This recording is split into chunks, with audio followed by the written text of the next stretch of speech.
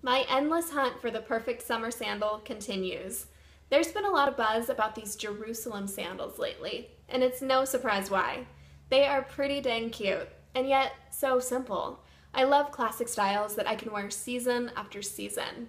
It was just so refreshing to find a huge collection of gorgeous styles in the most beautiful colors, all handmade by craftsmen using traditional techniques that is strongly influenced by the biblical era and uses earthy colors found in nature and in ancient Jerusalem artifacts.